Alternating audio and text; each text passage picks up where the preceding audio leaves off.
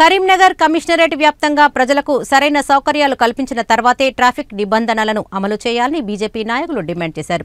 కనీస పార్కింగ్ సౌకర్యం కూడా లేకుండా ఎడాపెడా చాలాన్లను బాదుతున్నారని ఆవేదన వ్యక్తం చేశారు. నగరంలోని ప్రెస్ భవన్లో బీజేపీ కార్యకర్తలు మీడియాతో మాట్లాడారు. సరైన రోడ్లు ట్రాఫిక్ సిగ్నల్స్ పార్కింగ్ లేన్లు ఏర్పాటు చేసిన తర్వాతే నిబంధనలను అమలు చేయాలని సూచించారు. ఈ కార్యక్రమంలో బీజేపీ నాయకులు తోట శివశంకర్ సాయి ఇతర కార్యకర్తలు పాల్గొన్నారు.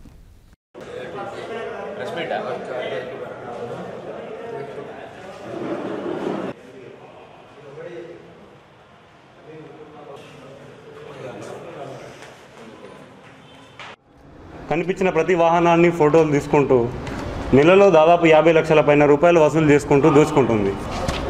దీనిపైన అడిగే హక్కు ప్రతి ప్రజలకు ఉంది. అధికార ప్రభుత్వం ఎప్పుడైనా దాన్ని గుర్తించాల్సింది ఏంటంటే మన రాజ్యాంగం చెప్పేది ఒకటే.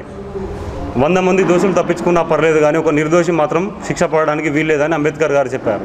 కానీ ఇప్పుడున్న ప్రభుత్వం చలాన్ల రూపంలో ప్రతి వ్యక్తి దగ్గర దోచుకుంటుంది. అందుచేత ఈ చలాన్లు వసూలు చేసే ముందు ప్రభుత్వం గుర్తించాల్సింది ఏంటంటే ముందు పార్కింగ్ స్థలాలు కేటాయించండి. తర్వాత రోడ్డుకు ఇరువైపులా గీతలు గీసి వైట్ బార్డర్స్